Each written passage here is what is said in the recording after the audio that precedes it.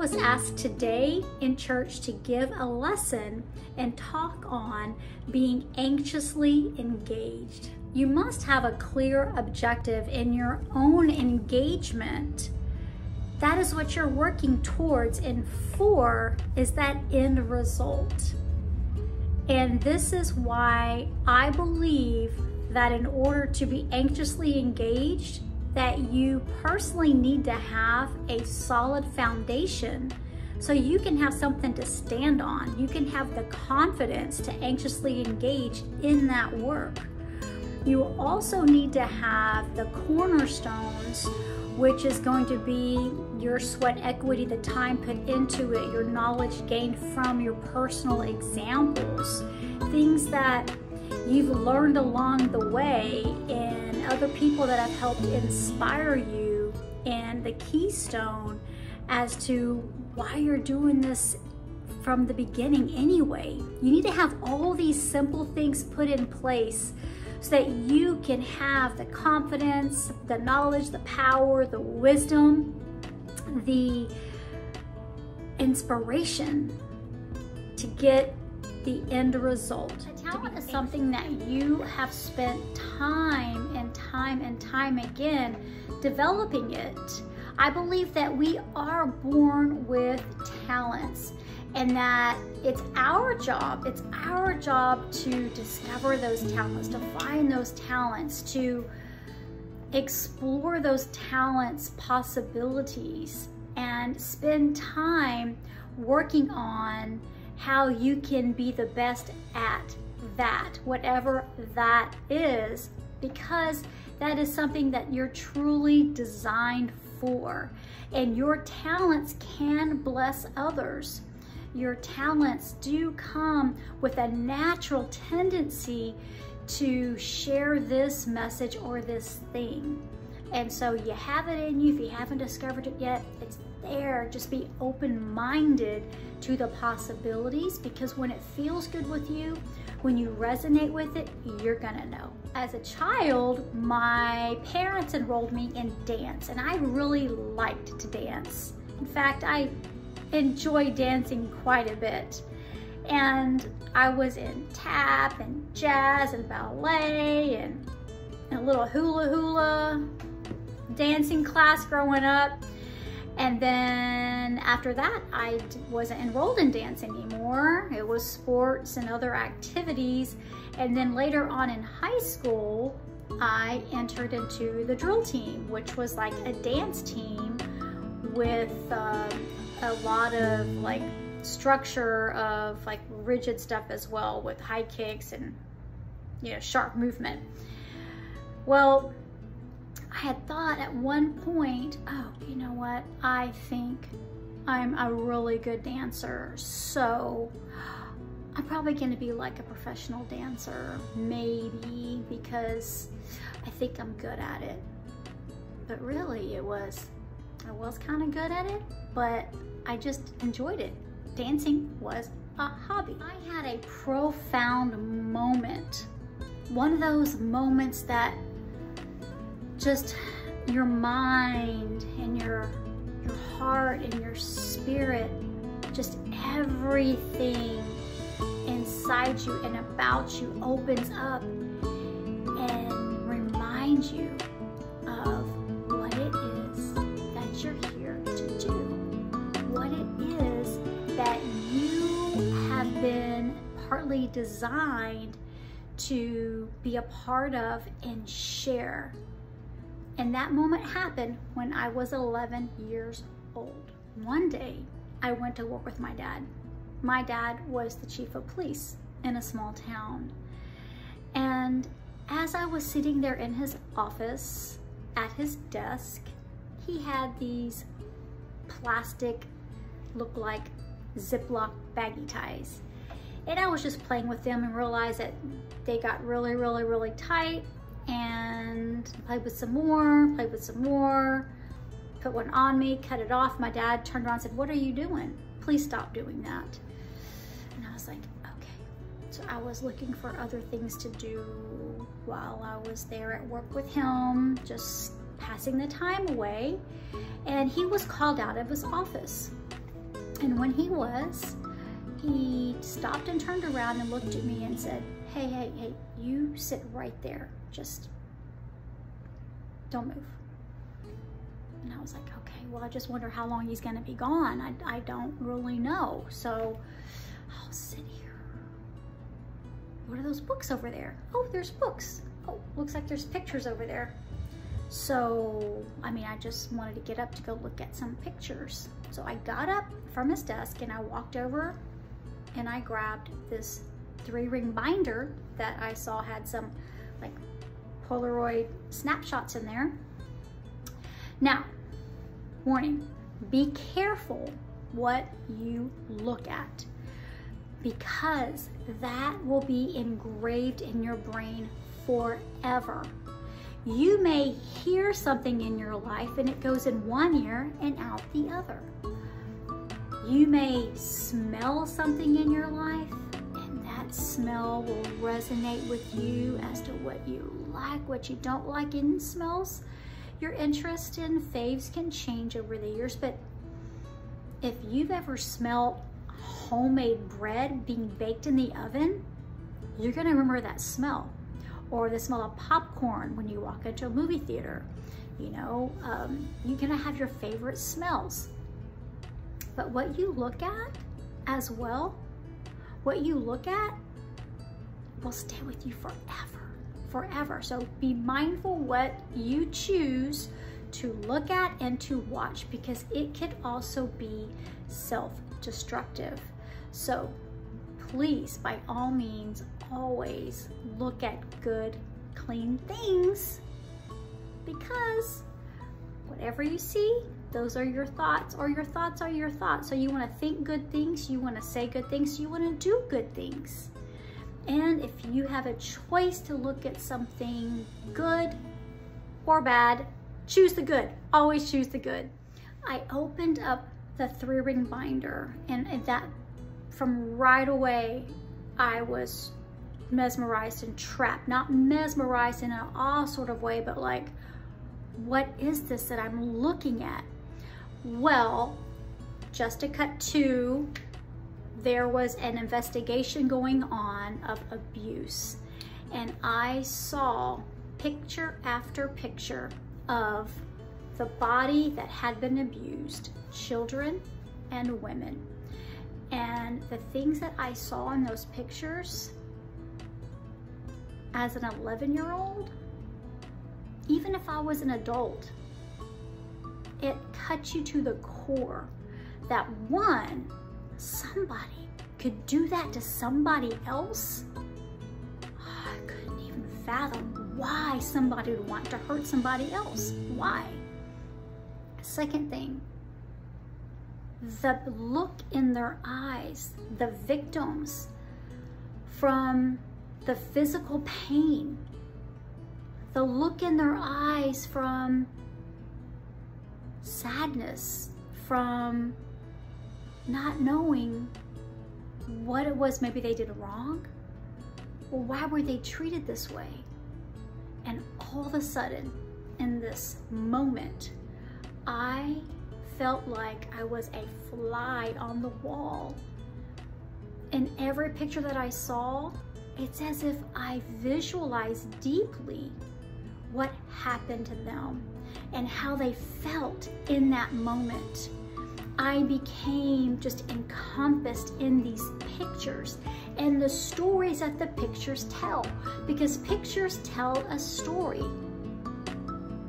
Words are tools that shape your life, but pictures tell the story. And I visualized every moment and I didn't realize it. But I was like in this trance and tears, sheets of tears, sheets of tears. I've never had sheets of tears. I couldn't speak. It's like my throat was sealed. I didn't know that I was even breathing, but just what I saw was so, so sad. And all I knew is my face was warm, my body was hot, and my face was wet. And the next thing I know, I see a vision at the doorway and I turn and it was my dad. And the look on his face, he was like, oh my gosh, he was sulking. And he runs into his office and he slides in on his knees and he picks me up and he holds me. And he said, why? Why did you look at those pictures? Why? And I just got out of my trance and I was like, I don't know. But I knew at that moment that I wanted to be somebody to help other people, to never, ever, ever get hurt, to never, ever, ever be that person that doesn't know what to do. I don't want anyone to get hurt. And I wanted to protect them. I wanted them to protect themselves and have a look on their face of confidence. And at that moment, I knew that know how that was going to happen. I just knew that was the objective. Protect people, okay? So now, little did I know that just two years later, that my family would enroll all of us kids in the martial arts. I was just the kid that never quit. I was anxiously engaged in martial arts throughout my entire life. I've never stopped, okay? I've been training for 34 years.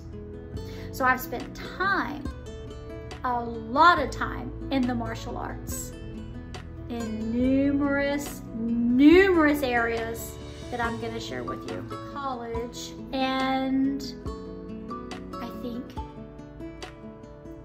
I want to be involved in dancing.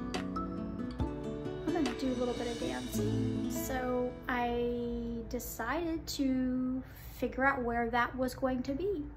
And I went to UTEP, University of Texas El Paso, and I saw an ad in some paper that said tryouts for a Diamond Girl for the professional baseball team, the Diablos. And so I got the time and the date and the location and I put on my cutest little dress and my heels and I went down to that office and I knocked on the door and the lady answered and she just had this big bright smile on her face. She goes, please come in, how can I help you?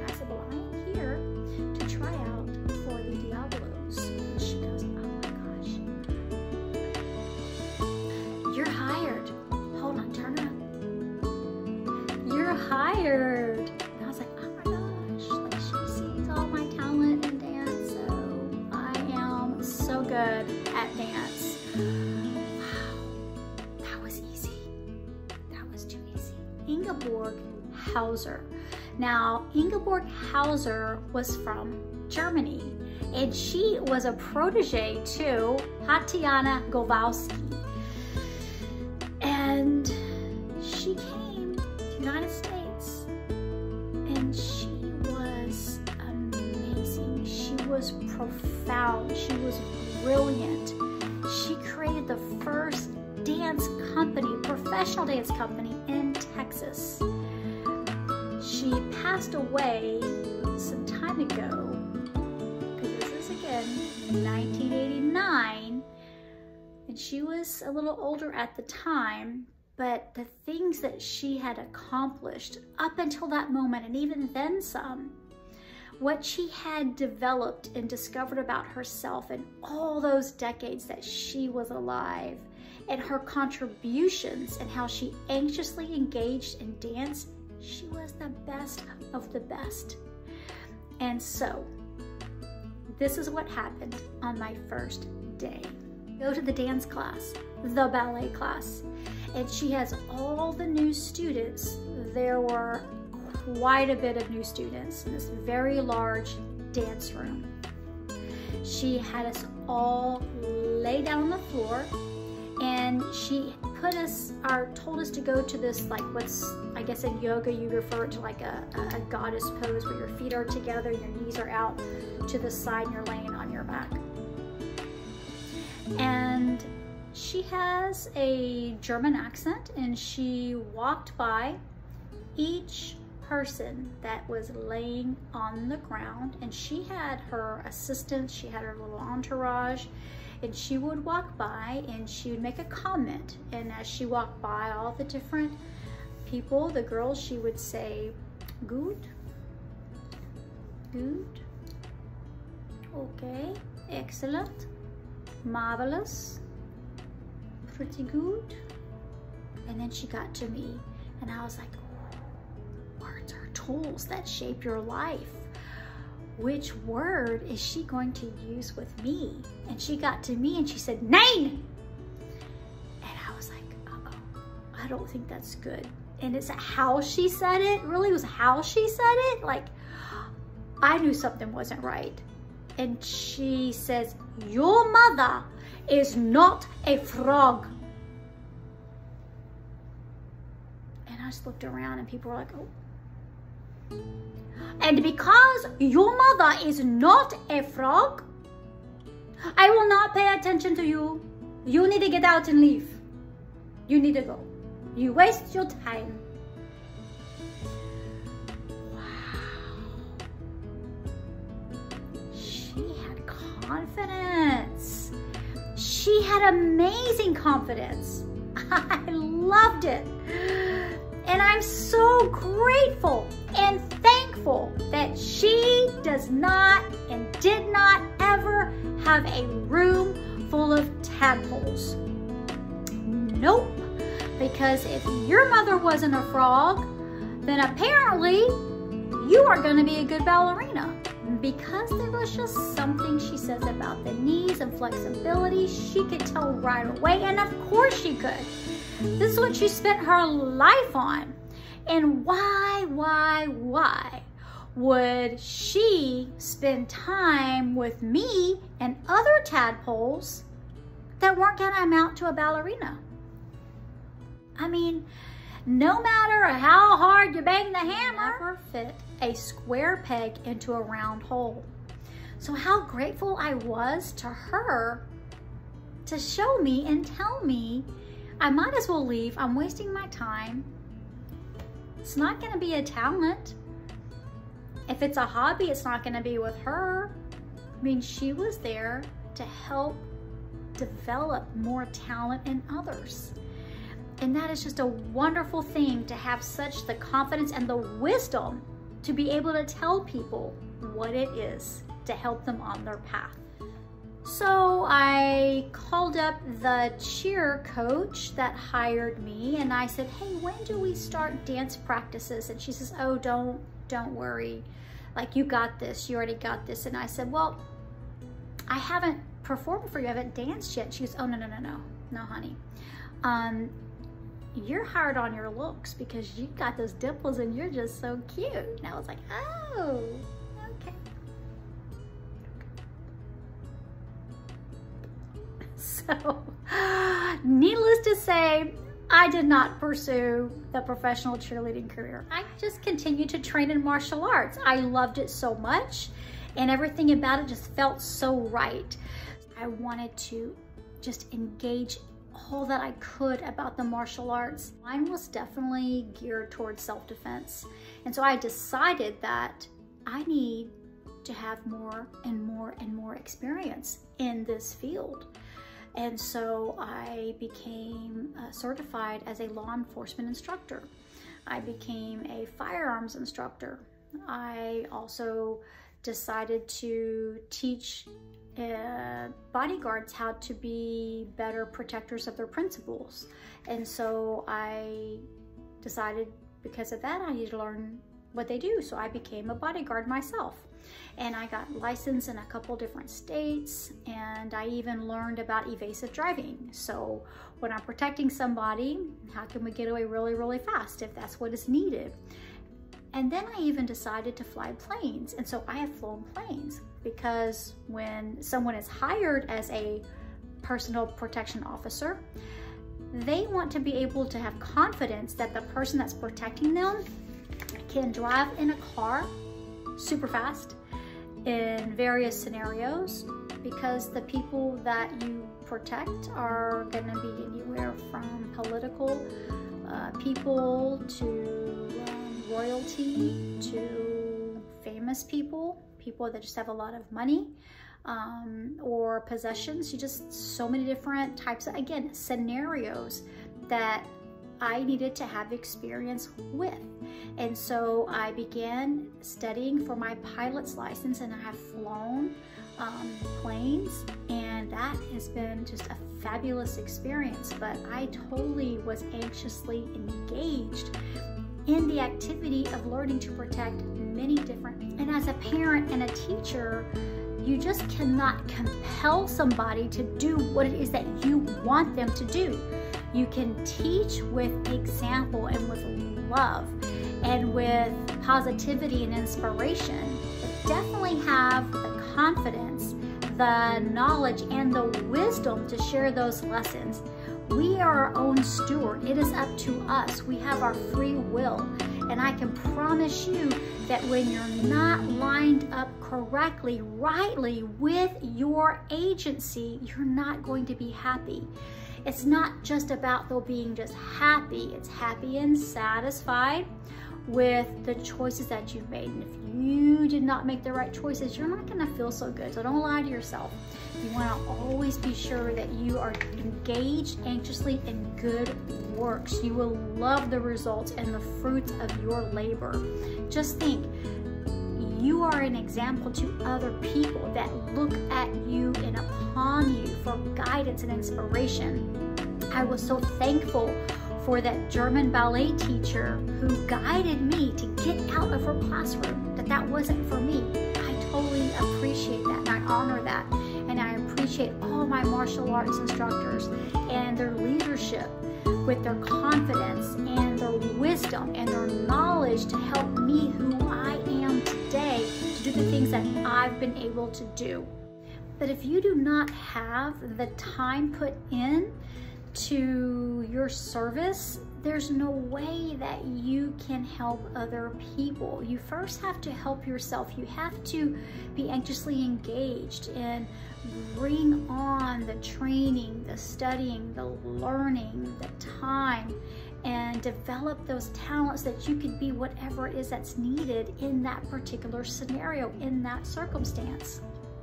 You know, it's not easy. It's never easy for something that's worthwhile. I mean, it comes with a cost. Totally comes with a cost. Again, look back at the example that our Savior, Jesus Christ, gave to us. Look at the cost. He took upon all the sins of the world. He suffered. He bled from every pore. He was crucified. The worst, worst way you could die. And he suffered for all of our sins. So it wasn't easy. Guarantee you though, he knows it was worth it because he had a clear objective and a mission. And so just like in the martial arts, in any worthy endeavor that you have, it's not going to be easy. Believe me, I have had many stitches, many, many stitches. I've had torn muscles and gashed in head and like big old contusions and I have uh, torn ligaments. I have surgeries and screws in both knees and blood and uh, torn ab muscles and all these things. These are wonderful things. You know, it's all just part of it. And I'm sure that our Savior would do it again because he knows what the end result is.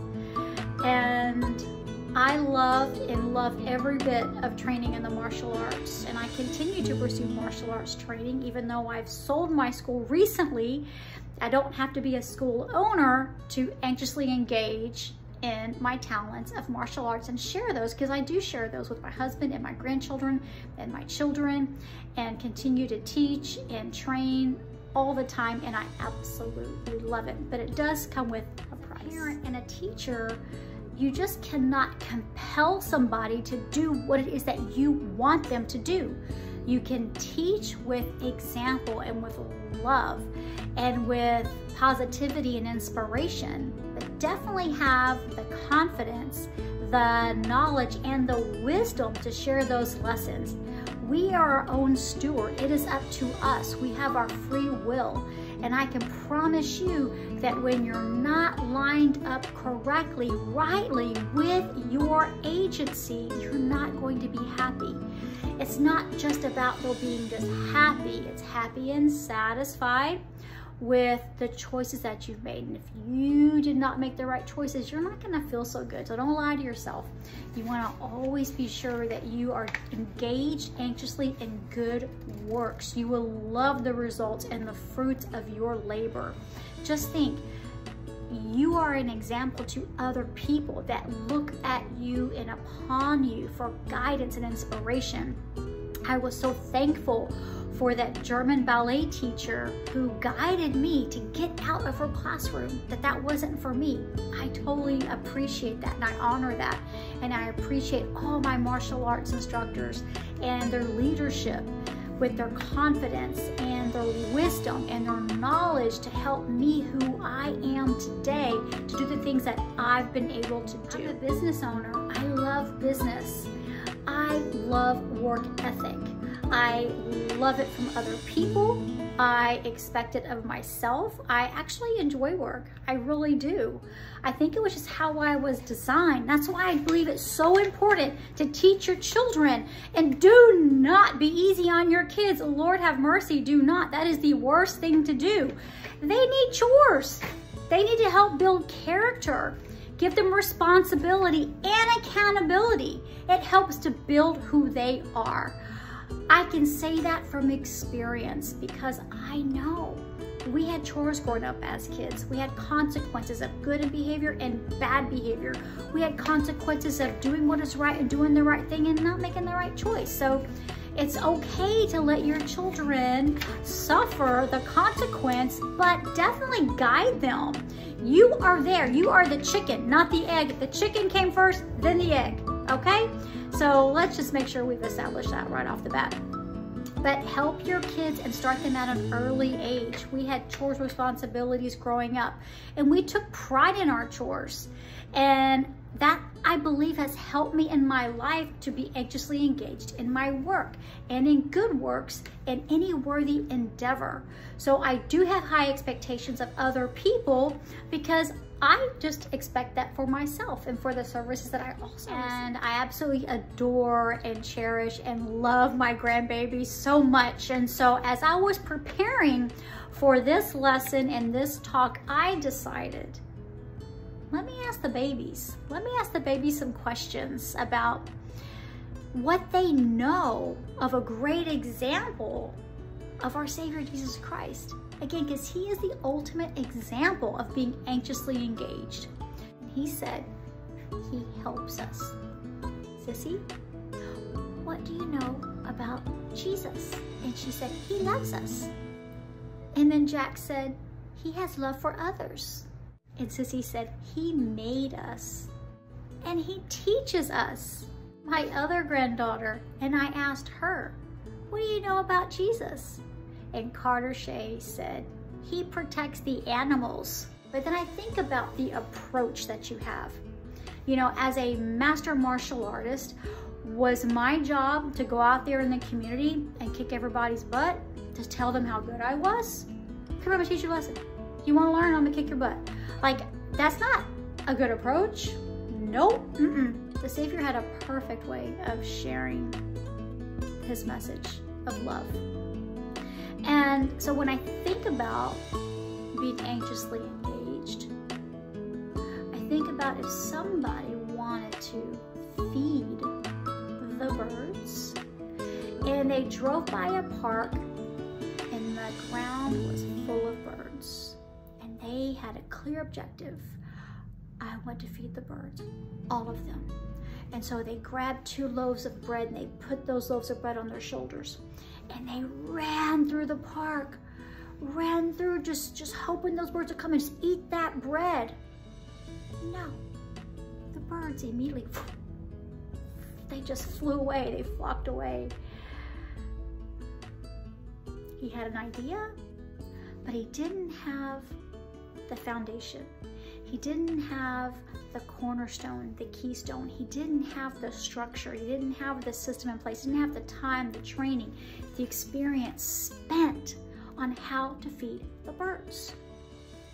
Instead, one day, he went to the park and he put the loaves of bread on his lap and sat at the park bench. And he took a chunk of bread off, he just tossed it by his feet. Just gently tossed the bread by his feet. And slowly but surely, birds would land at his feet. And more and more and more landed, more and more and more came. And he tossed the bread at his feet, and the birds ate. And the birds were fed. And that is how you approach things, how you can share your talents. You don't scream at the top of your lungs. I got a message, I'm talented. Do it in a creative way that's approachable, that can resonate with other people. Be anxiously engaged in good works and do good things and see good things, think good things, say good things because you are your thoughts. You manifest those thoughts.